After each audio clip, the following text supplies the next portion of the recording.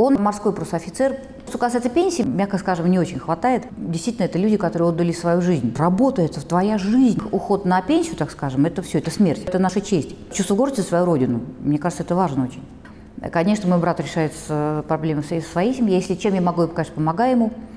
Вот, когда там какие-то у меня вопросы, он мне помогает. Ну так, ну... Он еще служит или уже? Нет, он уже демобилизовался. Но ему уже 64 года. Он мне старше, да. Достойно нам сейчас пенсию платят, нет? Пенсию... Он, понял, да нет, подводник, да?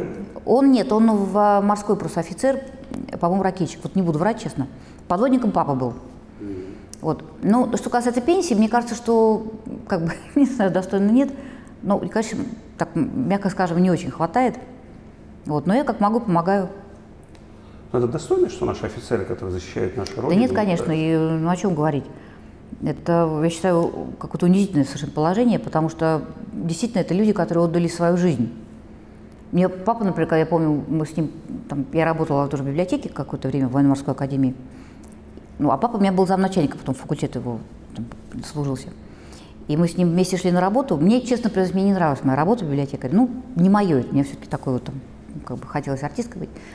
Я помню, что-то мы идем, говорю, господи, как мне это надоело, всю эту академию. Говорю, как ты можешь говорить, работа – это твоя жизнь. Вот действительно он так к этому относился, что работа – это жизнь. Он, когда пришло время, и ему нужно было демобилизоваться, ну, как бы уходить, а, и, э, надо отдать должное, что в академии там как бы относились так с вниманием к всем служащим.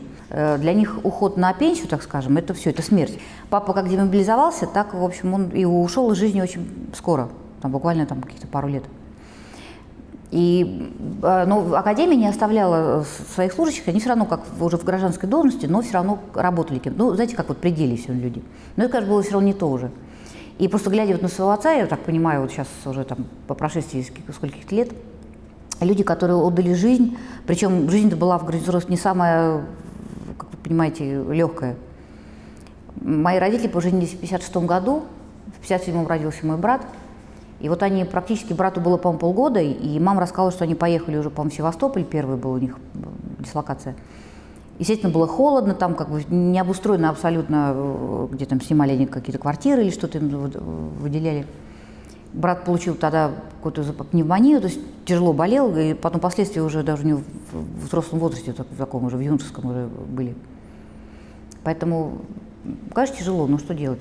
И пенсия, ну, не знаю, надо, конечно, с пенсиями что-то придумывать. Причем не то, что надо дотация там какая-то единовременная, а чтобы действительно было достойно, чтобы это было вот, ну, не стыдно. Что, знаете, а вообще гордимся мы сейчас своими вот офицерами? Вы знаете, я горжусь. Я не знаю, я не знаю, как там происходит. Мне хочется думать, что гордятся, конечно. Но это, это наша честь. Особенно морские офицеры, ну вообще офицеры и морские тем более. Это дисциплина. В обществе не хватает не только вот несправедливости, но и гордости за наших учителей, врачей, военных. То есть вот как Но мне кажется, вообще это, патриотизм как-то сейчас у нас... Вот когда я была молодая, так скажем, когда я начинала только, я работала как в библиотеке в этой, и вот я помню, что я сижу, там какие-то книги передо мной. Ну, я понимаю, что, это, конечно, пропаганда многое сыграла, но она правильная была. А воспитывали патриотов. Я даже помню, что я работала на иностранном факультете, у нас иностранцы были, приходили, я помню, сирийец один пришел, говорит, вот вы русская, я, я даже помню эту фразу, вот вам легко этот язык, вот русский, мне тяжело. А когда он сказал русская, я аж прям, мне так гордость какая-то, что прозвучала вот своя русская, что вот гордость какая-то такая, знаете, что действительно это. И, к сожалению, вот сейчас вот, э, ну, просто не, не мы виноваты в этом. Десятилетие такое было, что как-то вот все куда-то, не знаю, ушло. И сейчас я считаю, что как бы есть, во-первых, шанс, да и возрождают как-то. Действительно, вот это чувство гордости за то, что ты живешь в России.